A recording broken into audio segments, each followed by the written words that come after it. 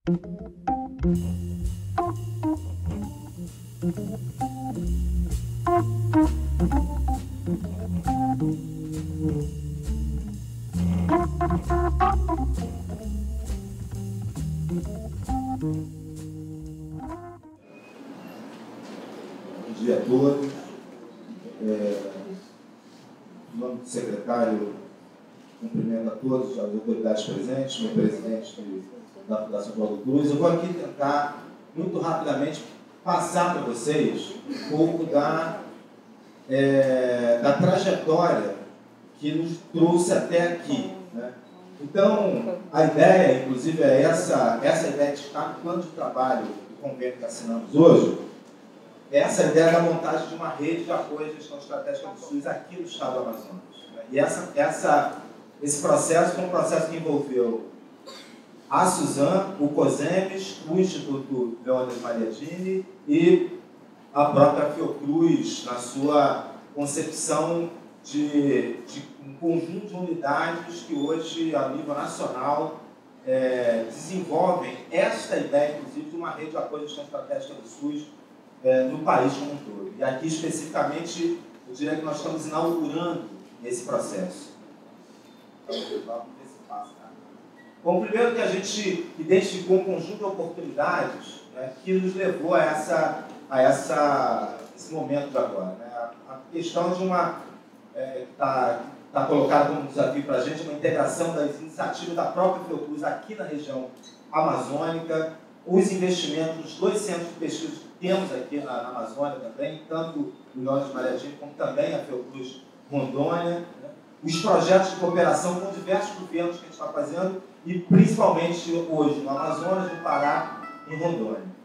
E um conjunto de, de cursos, projetos de pesquisa, parcerias e projetos de investimento que estão em andamento aqui na região, principalmente os projetos do PAC. Né? Eu diria que os projetos de desenvolvimento foram identificados no processo de construção dessa cooperação como uma grande oportunidade para a gente desenvolver ações na área de saúde. E a região também, nos últimos anos, tem sido colocada como uma região prioritária, tanto para o Conselho Nacional de Secretários Estaduais de Saúde, quanto para o Conselho Nacional de Secretários Municipais de Saúde, dentro das suas, é, dos seus planos né, de, de estratégias.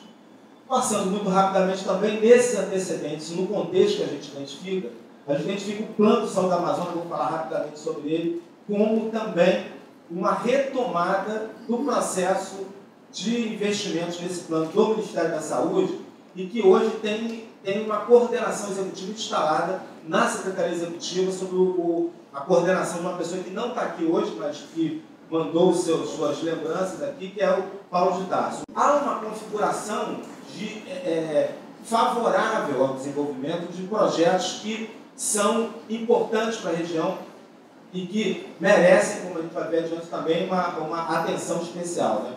E o projeto de rede de apoio à gestão estratégica como já falei, está inserido, quando a gente fala isso aqui, nós estamos falando do plano também da Fiocruz. O plano quadrienal da Fiocruz coloca essa rede de apoio à gestão estratégica do SUS como uma de suas prioridades. Né? né? O contexto dessa cooperação nasce a partir da, da assinatura de uma cooperação, da, de, uma, de uma cooperação também da Fiocruz com o CONAS e com o CONASEMS no ano passado. Essa foi uma provocação que foi feita no Congresso do CONASEMS, na à época, a presidente do, do, do COSEMS do Amazonas se colocou imediatamente assim, vamos começar pelo Amazonas essa história, né? vamos, vamos, vamos tentar começar por lá e acabou dando, dando certo, pelo menos é, é, é, isso é que a gente conseguiu observar. E, e, essa, essa cooperação foi muito nesse sentido, né? de conseguir trabalhar melhor a cooperação intergovernamental, de trabalhar bem as articulações entre ensino, pesquisa e gestão do SUS, que muitas vezes tem um grau de afastamento. Né? E, essa, e essa aproximação é super importante para a gente trabalhar a instituição acadêmica voltada para o interesse daquilo que é diagnosticado tanto pelo controle social quanto pela gestão do SUS como um todo. Né? Então, o nosso ponto de partida é, é, é, sai da ideia de que nós temos muitos diagnósticos, nós temos centenas de iniciativas de pesquisa, nós reconhecemos as peculiaridades da região, mas há insuficiente integração entre as instituições de pesquisa, de ensino, os serviços, a própria gestão do SUS e as atividades de pesquisa e desenvolvimento e, inovação. O plano de saúde da Amazônia é legal nesse sentido. É, é, é, um plano de qualificação da atenção inserido no Plano de Desenvolvimento Sustentável da Amazônia. Ele tem o objetivo de promover essa construção e projetos integradores. Essa iniciativa do Ministério também está composta nessa, nessa linha. E ele está no escopo tanto do Plano Nacional de Saúde, é, é, que está colocando uma perspectiva de olhar para o Brasil em 2022. A Fiocruz tem uma ação importante com o IPEA, que a gente, que a gente coloca né, enquanto Brasil, a saúde do Brasil em 2022. Ou seja, temos que olhar para o momento atual, mas olhar prospectivamente. E olhar prospectivamente significa juntar todas as instituições para pensar numa matriz só. E isso está incluído também no PPA 2012-2015 do governo federal. É...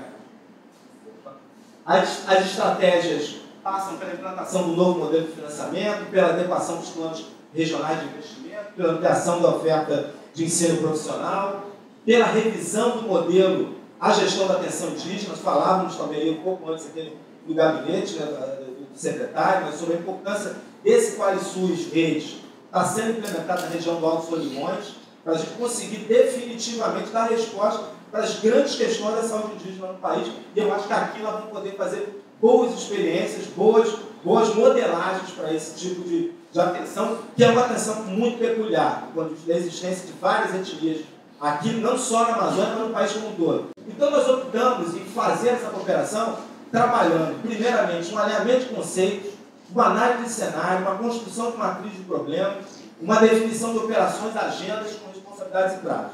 Foi desse modo que nós tratamos e fomos trabalhando assim. Né? Um processo de planejamento estratégico, passando pelas diversas etapas, desde o momento explicativo, o momento normativo, o momento estratégico e o momento tático operacional, que a gente pudesse.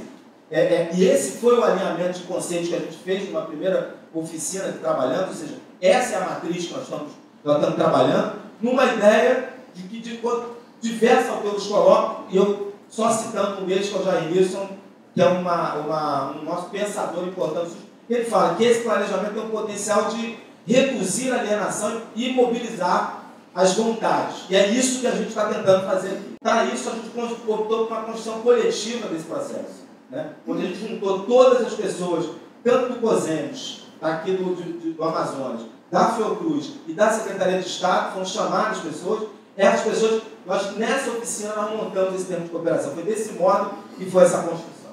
Esse acordo de cooperação que a gente assina hoje, para todos terem conhecimento, ele está exatamente escrito desse modo. Esse acordo que, entre Fundação João Cruz, Secretaria de Estado e Conselho de Secretários Municipais, isso é um detalhe importante da gente conseguir juntar para nós da Fiocruz, é muito é, é gratificante isso? Poder estar tá fazendo essa cooperação com os gestores do SUS direta. Né? A gente tem muitas ações já com o SUS. Né? do ponto de vista de principalmente de capacitação de pessoas, principalmente a Escola Nacional de Saúde Pública, o próprio Instituto Leonas Maria Dívila realiza uma, uma série de ações. E aqui é o plano de trabalho do convênio, que aqui está eu estou colocando mais esse plano de trabalho, vocês verem que nós pensamos que esse tempo deva ser desenvolvido no longo prazo, né? ou seja, daqui até 2016. A gente tem que pensar, é, é, é, é todos criticam muito muitas vezes, o, o Brasil por não pensar, só pensar no curto prazo. A gente está sempre entrando no governo pensando o que, que a gente faz no próximo ano, na próxima semana, no próximo mês. No, no caso do Amazonas, o nosso, a nossa unidade aqui é o, é o Instituto de Pesquisa da Leona Mariatini, que é, é, é, é, quem vai, na verdade, ordenar esse processo de contribuição daquele conjunto de unidades que eu mostrei para vocês aqui no Amazonas. Né? Essa é a ideia. Alguns uh, têm contato com, a, com, o Instituto, outros não têm. A ideia é que a gente intensifique esse contato, potencialize essa relação. Né? As expectativas nossas é o desenvolvimento de estratégias institucionais nessa interface, desenvolvimento sustentável de saúde, né? estabelecimento de, de iniciativas de cooperação mais articuladas às prioridades dos municípios, é que os municípios possam, de alguma forma, fazer um processo permanente de, de é, é, é de revisão desse plano o tempo inteiro, né, de tal forma que a gente institui um grupo que possa trabalhar isso de maneira mais adequada e, fundamentalmente, uma qualificação das capacidades locais para a gestão do sistema. Ou seja, o que a gente precisa é que a descentralização se dê com fortalecimento de capacidades locais. Né? E isso precisa ser feito de tal modo a consolidar um planejamento articulado de pesquisa, ensino, pesquisa e desenvolvimento. A gente acha que isso deve ser feito na Amazônia como um todo, apesar de sabermos que temos particularidades em cada estado. Não, é, não, não dá para fazer isso sem articular essas ações ao plano de saúde da Amazônia Legal e fazer isso definindo uma agenda comum com universidades, que de alguma forma participou da nossa, da nossa oficina também, né? É, lá pelo Departamento de Saúde Coletiva, não é isso? O Departamento de Saúde Coletiva também participou da nossa oficina.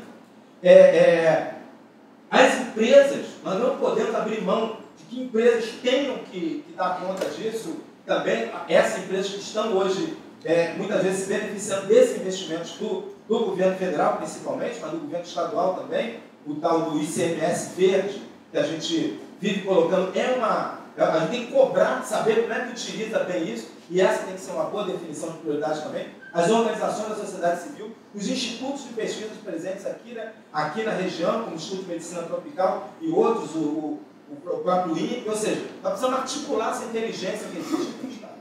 E, por fim, o fortalecimento das redes de pesquisa desenvolvimento e inovação para a construção de evidências científicas. Esse é, uma, é, é o que a gente mais preza, na verdade, quando visto uma instituição é, da área de ciência, tecnologia e saúde. A gente precisa ter mais evidências para contribuir com o processo de tomar decisão. Eu diria que esse é, é, um dos grandes pilares dessa cooperação que a gente assina hoje. Né? Que é, é fazer que essa construção de evidências para a gente tomar decisão sobre dengue, sobre malária, sobre saúde indígena, sobre a questão da saúde urbana aqui na região. Ou seja, essa é, a, é, a, é, a, é o que a gente quer, quer fazer de, de, de fundamental. Thank you.